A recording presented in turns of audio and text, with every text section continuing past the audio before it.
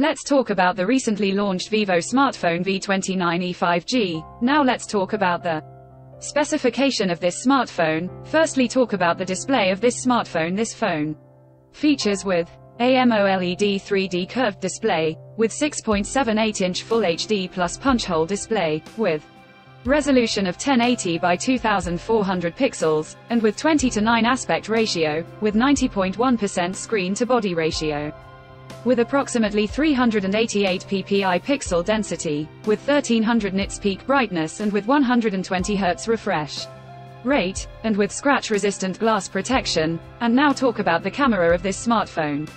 The smartphone with dual camera setup on the rear that includes 64 megapixel OIS main wide angle camera, along with 8 megapixel ultra wide angle camera. For selfies it has 50 megapixel wide angle camera. For the software the handset turns on Android 13 operating system based on exclusive optimized version of FunTouch OS 13 screen on top the device. Under the hood the phone CPU is octa-core, 2.2 GHz dual-core Kryo 660 Gold, plus 1.8 GHz hexa-core Kryo 660 Silver, powered by Qualcomm Snapdragon 695 5G chipset, paired with Adreno 619 GPU. In terms of storage the smartphone plugs with 8GB of LPDDR4X RAM, and 128GB, or 256GB of UFS 2.2 onboard storage which is further expandable up to 1TB micro SD card slot. The physical dimensions of the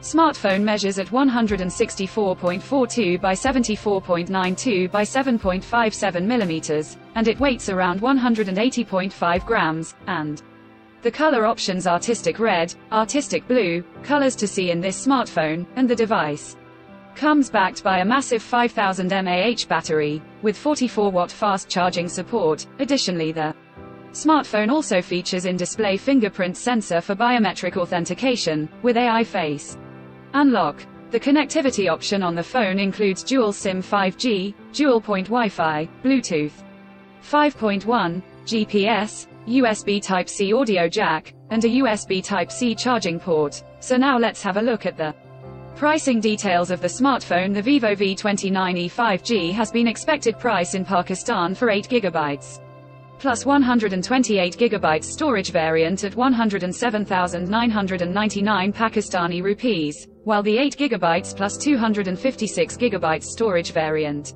at 115,999 Pakistani rupees. Conclusion So what do you guys think of this Vivo V29e 5G smartphone? Do let us know in the comments section below and subscribe for more tech updates. Thanks for watching. We'll see you guys in our next video.